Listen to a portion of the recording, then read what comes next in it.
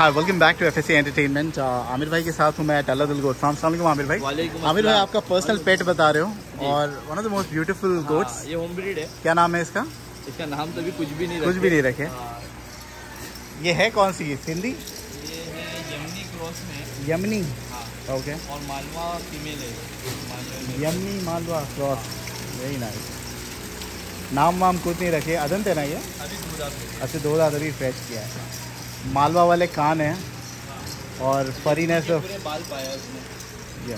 बहुत खूबसूरत बहुत एंटीक पीस है। अपने पास ही पैदा हुआ है? यही घर का यही पैदा हुआ है। तो इसका बाप है अभी? नहीं नहीं बाप बाप नहीं है। माशाल्लाह वेरी ब्यूटीफुल बिक्री के लिए है अगर नहीं नहीं शौक कर रहे हो? सिर्फ़ शौक के लिए दिखाना। वैसे कितने के मिल जाते हैं ऐसे बकरे? ऐसे बच्चे अब मिलते ही नहीं है। हाँ। यमनी मिलते यमनी हैं। बकरे मिलते कहाँ पे अभी? आई अंडरस्टैंड यमनी वो कश्मीरी को बोलते हैं क्या?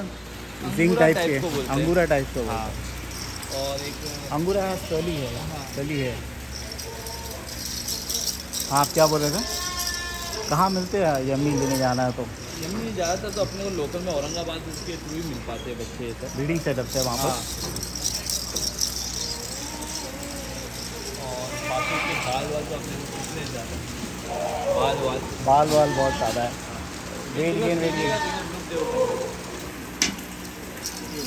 यहाँ से देखो। एक्चुअली कलर भी बहुत अच्छा है ना। नेक पे देखो ना हाँ, आधा अलग कलर है थोड़ा हल्का ब्राउनिश शेड है। हल्का बेज शेड है। हाँ। और और गुलाबी बकरा है ये- ये लाल स्किन है? लाल स्किन तो नहीं है red skin red skin red बोलेंगे। स्किन बोलेंगे इसको गुलाबी नहीं बोलेंगे। भरा हुआ है बाकी बाल वाल देखो कितने ज़्यादा है। और आएँगे ना इसको तो तो बढ़ते हो हैं। जनरली मैंने जो यमनी देखा मैंने एक मेमन गोस्वाम पे कवर किया था आसाद भाई के साथ वो बहुत बड़ी सिंग वाली है उसके बाप को सिंग थी वैसी। अच्छा बाप था ऐसी खुले सिंग वाला हाँ, लंबा? ओके ओके सिंग से थोड़ा वो रह गया लेकिन यूनिक है एंटीक पीस है। बिक्री के लिए नहीं है और नाम अभी तक के नहीं रखे तो कॉल ना कीजिए इसके लिए वंस अगेन बस ऐसी है। Thank you so much thank you